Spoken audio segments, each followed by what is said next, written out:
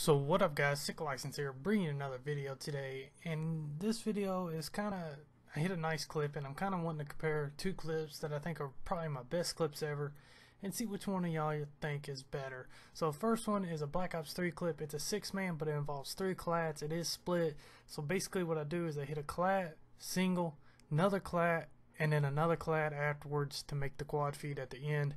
Fortunately, after the first clat and the single, it's kind of split in there still a very good clip. Second clip is the IW clip, and I know you can't compare them because they're two different games, but it's still a good clip. It's a longbow clip. It's a six man. Basically, it's a single jump shot single. Turn to where they're spawning at.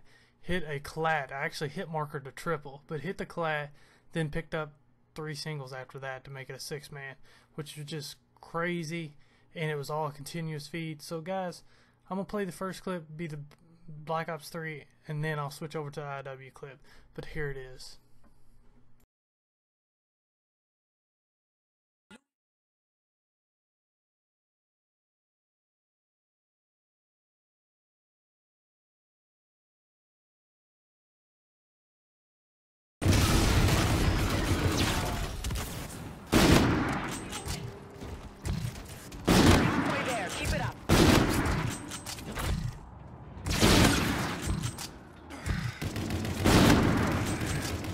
So there's the two clips. I'm gonna let y'all decide. Drop it down in a comment. Tell me which one is better, the BO3 clip or my IW clip. For me, it's the IW clip because it's all one continuous feed. But don't get me wrong, Black Ops 3 clip is still one of my favorite clips because it is a six man and it's got three clats in it, which I really haven't seen yet. Yeah, I know it's double split, which kind of sucks and I know the volume's muted because I don't have the raw fi file anymore. I actually probably do on MediaFire from where I sent it to the editor for the virus thing. So the virus thing, the virus montage. But you know, I don't have the raw clip. I can, I could probably find it. I just have to you know go through all the library and do it and find it.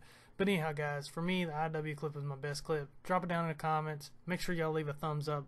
And you know, I'm gonna try to bring bring y'all more gameplays. But anyhow, guys, hope you enjoyed those clips, and I hope you enjoyed kind of seeing what I've been striving for to get better and better and better.